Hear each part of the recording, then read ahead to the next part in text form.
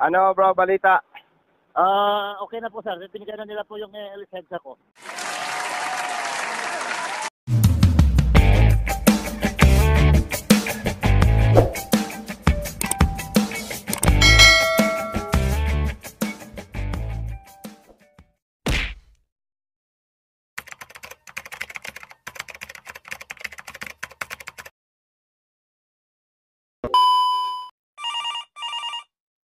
Hello. Hello po sir, morning. Problema ko po sir, pinuli po ako ng eh, LTO sir. Eh, ano ang problema? Ang problema ko po sir, ang plate number ko, 7. Hmm. Na, na, nabasa ko sa circular memorandum po sir, na yung extended pa hanggang September 30. Ang nakahuli sa'yo, LTO Iloilo. Opo. Flying squad ng LTO po. Flying squad ng LTO Iloilo ang nakahuli Oo. sa'yo. Opo, tapos yung, yung explain po nila sa akin po, kasi nano ko yung circular, sabi niya po, ang, ang, ang coverage po ng circular, yung sa registration lang po, yung walang hindi ka mag-pay penalty. Yun ang sabi, kaya naguluhan po ako. Sa dalawang linggo rin hindi ako nakapag-start ng, eh, ng trabaho ko kasi pinampista nila yung ticket ko. Eh, wala, nung nag-ano ko ng YouTube, nakita ko yung ah, mga ano mo, eh, sabi ko baka may pag-asa ko rito na ma, ano ko ng explanation ng mga maganda. Puntahan mo ang LTO Iloilo. Opo. Malayo ka ba? Ah, mga one hour, one hour pa po ang drive ko po. Puntahan mo na ngayon ha. Ah, opo. Okay, sige. Two hours later. Opo, sir. Hello? Hello, sir. Nandiyan ka na? Opo, sir. Nandito na po ako sa LTO. Kailan ka nahuli? September 10 po. Oh, okay, okay.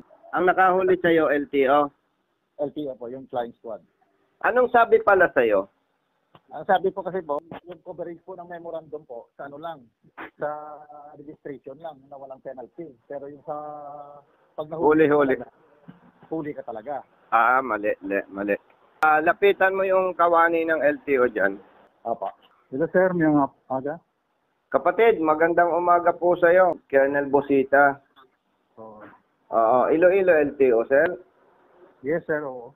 Ah, pwede po bang makausap si Hepe? Sandali lang muna, sir. Yung ano po. Opo, opo. Salamat po. Sir, lang ano, sir, anong, ano, sa sir? Colonel Bosita, sir. Ha? Colonel Bosita, dito po sa Luzon. Sa anong, ano, agency, sir? Anong klase ba, ano? Wag na po, wag na po ninyong itanong, kaya po ako'y tumatawag sa inyo, mali ang panghuhuli ng inyong kawani. Sige. Sandali po. Okay. Regional office ba yan ng LTO? Opo. Opo. Oo, sige. Tatlong linggo, hindi ka napagana buhay? Opo. Etong mabi... Ha? Magalit pa yung yeah. Hayaan mong magalit sila. Yan ang problema natin eh. Sila na mismo, taga-LTO, hindi pa maipatupad ng tama ang kanilang memo. Huwag kang matakot sa galit nila. Matakot ka sa galit nila kung sila ay tama. Ha? Diba? Opo, sir. Opo. Kung ikaw ay mali at tayo ay nakikiusap dahil ikaw ay may mali, matakot ka. Dapat sila ang natatakot dahil mali ang trabaho nila. Ha? Opo, opo. Oo. Huwag kang tumayo ang balahibo dyan, ha? A few minutes later. Hello, good afternoon, sir. Kapatid, magandang umaga po. Mag- magandang umaga din po. Chief ng operations ng Region 6. Ay, swerte. Bakit po kayo po yung natawagan nila? Bakit ang layo pa po ninyo? Uh, pero reklamo siya, pwede naman namin na Sir, una, maraming salamat po sa inyong oras. Pangalawa, hindi po ako makikipag-usap sa inyo kung wala akong nakikitang problema. Oo. Eh, alam nyo sir, alam ko naman ang protocol eh. Pag may complaint, mag-contest.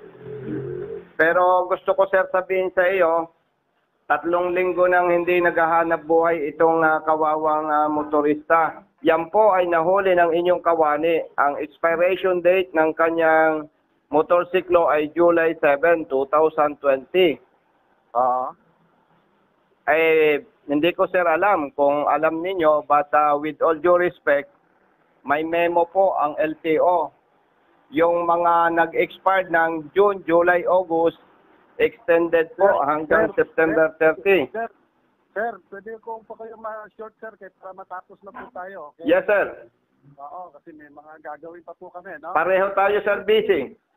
Ngayon ko lang po nakita to, so I will evaluate po to kung ano po yung sitwasyon po, no? I-evaluate ko po. And then siya na po yung bahalang magano sa inyo kung anong evaluation po namin. Okay po? Ah, sir, malalaman ko po ba resulta agad? Kasi kawawa naman yung ating mga kliyente. Kaya nga po, titignan ko po, sir. Sige po, malaman ko lang po. Okay, salamat, sir. Opo. A few minutes later. Po, sir. Ano, bro, balita? Ah, okay na po, sir. Tinigyan na nila po yung uh, lisensya ko.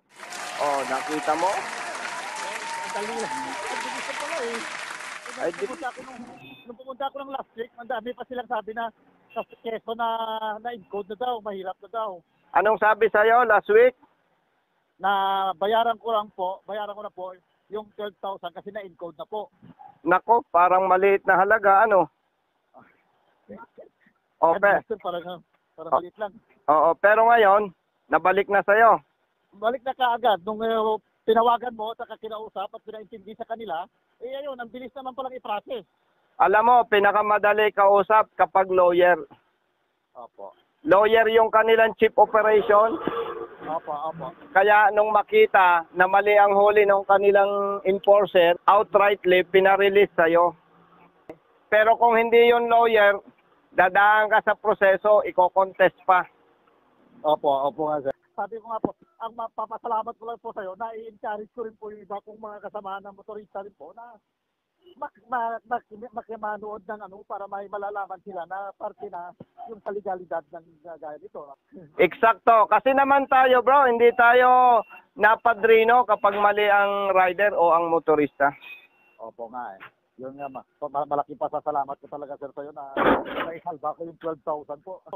Okay bro, maraming salamat sa suporta sa ating advokasya. Okay po, sa maraming salamat talaga po sir ha. Okay, bye-bye.